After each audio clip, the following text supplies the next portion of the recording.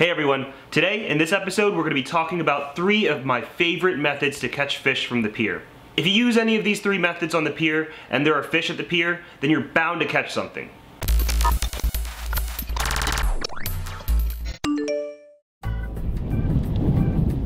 We are here on a private pier fishing the riverside of Florida. And joining us are two subscribers, Morgan and Austin, who we've invited to go fishing with us. We've been fishing with them before, and we learned that Morgan is a lucky charm. She pretty much outfishes everyone. Morgan wins the whole thing! As I knew she would. Alright. Whoa. Morgan and Austin will be fishing with the first method we'll be talking about today. Plastic lures. So if you're just starting to get into fishing with little swim baits, I would recommend throwing a 1 4th ounce jig head and a DOA brand swim bait, some flukes, whatever looks like a small little bait fish will work. It doesn't need to be any particular brand. As long as it's a small little bait fish, you should be good. When you're putting the swim bait onto the jig head, we get a lot of questions about this and I see a lot of people fail on this. So I'm going to show you really simply. First off, see where the hook needs to come out of the bait by lining it up like this and marking it with your finger. Okay? Then when you push the hook through, push it out of where your fingers are, marking it, right? So now it'll sit evenly and perfectly on the jig head. The way I, ooh, look at that, caught myself.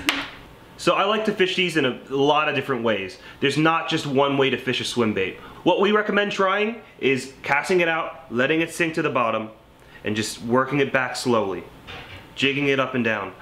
Um, but there are many other ways to do it. You can cast it, let it sink, flip it back up, let it sink, flip it back up, let it sink. You can cast it out, bring it back fast. You can cast it out, let it sink, bring it back fast. There's so many different ways, and I want you guys to try all those different ways. If the fish aren't biting one way, they might be biting another way. Let's see how Morgan and Austin do. Oh. Oh. That's a giant whiting. Whoa. That's, Oh my goodness. that is like the biggest whiting I've ever seen in my entire life. Catfish when you pulled it No, seriously, what even? I thought it was a little redfish. Whoa. I thought it was a little redfish too. That's a big one. Yeah. Oh. Wow. oh man, that's awful. Poop all over you? Oh, totally did, yeah. No. Awesome. Sweetness. Oh, Eat that, we're gonna eat that. Oh hell yeah, absolutely. You don't. I, if you weren't, I was. That's a. Hook it That's, right here. do it. So the second method, one of my favorite methods because it's so easy, the sabiki rig. They come in all sorts of different sizes depending on how big of a fish you want to catch. See this one right here is size 14 hooks with bigger flies, but this is much smaller. Size 11, this is even smaller, size 6. So this is what the sabiki rig looks like. You see all these flies tied on here? Take a look at these flies. So this bait rig works really well, but depending on where you're from, you may not be allowed to have six to eight hooks. So what I like to do is I like to cut it so that I only use the legal amount. So I would usually just cut it at two hooks and then tie a sinker down here. And there's so many ways to fish a sabiki rig. Uh, it doesn't work just, it doesn't just work on a pier, it works all sorts of different places. Because these little flies, they look like little shrimp, little fish. There's a lot of little things that can be shaped like this underwater. And um, fish love it. You, you can use bait or you could not use bait and just use the fly. But I usually like to use bait. The top of the rig is a two-way swivel and then it has six flies attached. And then the bottom is a snap swivel for a sinker. Now for something this small, I would use a half ounce sinker. Two ounce, three ounce would be way too heavy. So it's important to match your sinker size. What we're gonna be doing today is we're gonna be dropping it by pillars because pillars are a really good source of, of small bait fish, of, of barnacles, of lots of different life. And we find that a lot of fish like to hide by the pillars. So it's as simple as baiting this up and dropping it down.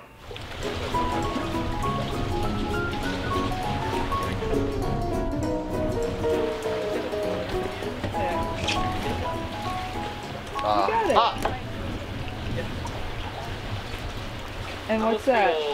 Little sand perch. Same Hey, thing? I don't know. Those I don't know. taste good. So my dad and I are both also using live bait. And this leads us to our final method, live bait fishing. So I'm gonna show you guys how I tie a live bait fishing rig. This is just one method. And I'm gonna be using the Senko Skipper Pier Fishing Adventure Guide. So for those of you who are beginners to pier fishing and you really need help getting started, this is gonna be a really great resource for you. It includes an entire adventure guide that's laminated so you can put it in your backpack.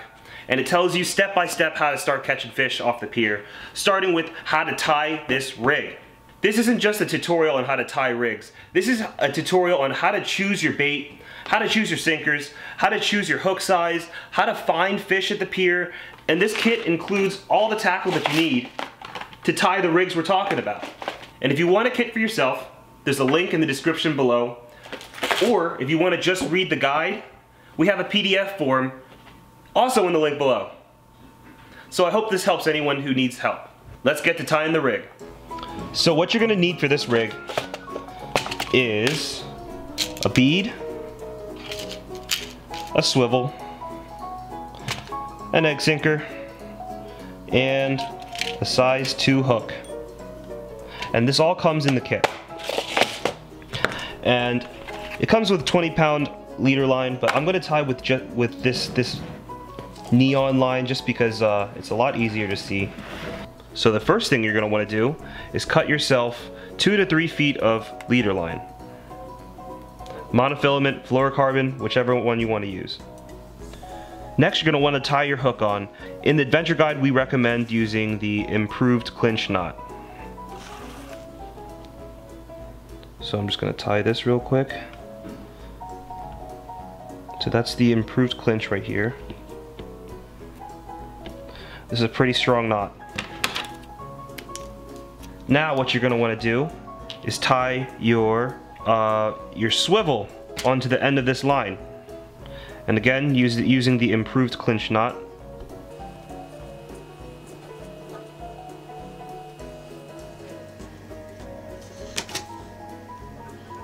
Now, you're gonna be attaching it to your main line. So this is your spool line, okay? What you're gonna wanna do is put your egg sinker through. And in the kit, we include a two ounce egg sinker, which is what I would normally recommend. And we're gonna put a bead through. Okay? And I'm gonna show you why we use a bead in a second. Now attach this with another improved clinch. Make sure you trim all your line. Okay, so now here's why we use the bead right here. If we didn't have this bead, this would be knocking around on this knot to the point where it might break the knot. So the bead is there to protect it from the sinker and from any line damage. Not necessary, but very helpful. And that's the basic rig right here. So your live bait will go on here, the end of your line, and when you cast it out, right, the sinker will stay in one spot, and the fish is able to be moved around, and predator fish are able to eat it without detecting the tension of the line, since it's stuck on the ground. See how it slides? All right, let's see it work in action. I want a small one though. I want a small one too. That's a pinfish. Yeah, I'll use this one. Alright, so there's a lot of different places to hook a live bait. In the nose, between the eyes, on the top lip, on the shoulder, on the back of it. I'm gonna try the back this time. Why? I just feel like um, I have a higher hookup ratio that way, but I'm not sure.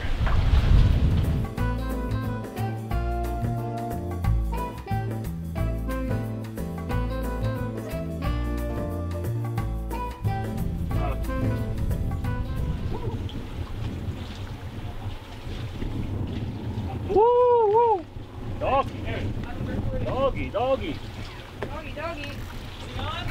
Oh, oh, it's on. Ooh. All right. It's a catfish. No, it, it, it might be a redfish, Dad. You gotta have faith. Okay, here comes. Yes. Is it?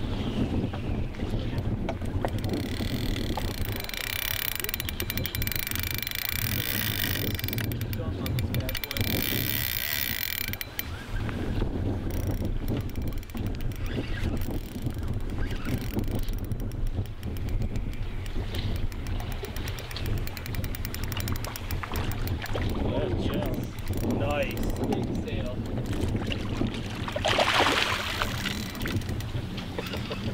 Oh, it's gone! And the fish is alive! Hit it, dude. Just says, wow, I don't want to touch it. That fish has seen some stuff, man. Oh, look at that slime. Ugh. That big fish is gonna have PTSD. You just spent 60 seconds in a stomach of a catfish. Let it go, let it go. He's he's done for, man. Oh. Well.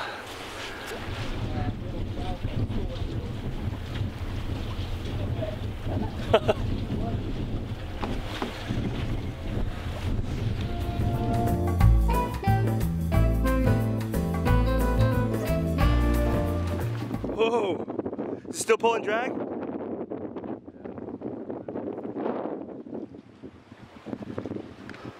Is it a big fish?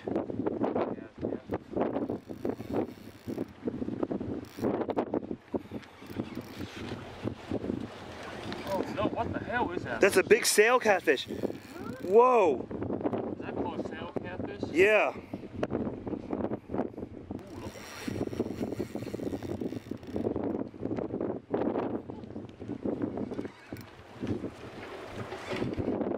Yeah, I don't even want to do it.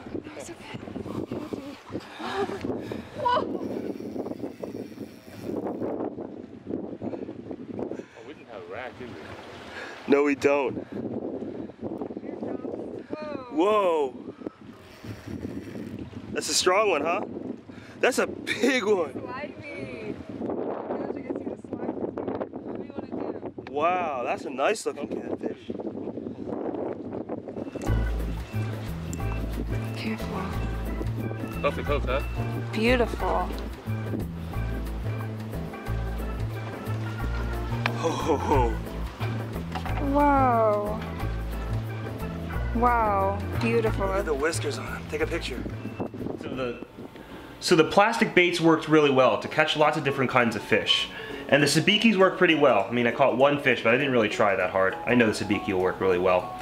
But the, the live bait rig, that was getting snatched up left and right. That was very consistent. So I want to take this time to let you guys know, sabiki rigs work really well, but look at how messy they can get. They can get very tangled very quickly. And it's important that you be careful when you're fishing with these. You don't want this to get trapped under the ocean and, and sea creatures getting stuck in it. So what I suggest is maybe not using all six of the hooks and being extra careful when you use a sabiki rig. Another thing that you should note is that after you're done using any line, um, it's really important that you cut that line up because a big tangled ball of line will kill a lot of different things in the ocean. So we need to do our part and protect the ocean because we want to maintain this resource for not just us but for future fishermen. If you're catching fish left and right and you're keeping them and not eating them, that makes a really big impact on the fish ecosystem. So if you're not eating the fish that you catch, please just throw them back. If they're this big, just throw them back. And you're not gonna eat it, don't just kill it for no reason. It's really important that we, we moderate how much fish we take out of this ocean. If everyone took all the fish they caught, we wouldn't be fishing anymore. So I know in some countries there's no laws at all governing how many fish you can take, how big of a fish you can take, what kind of fishing you do.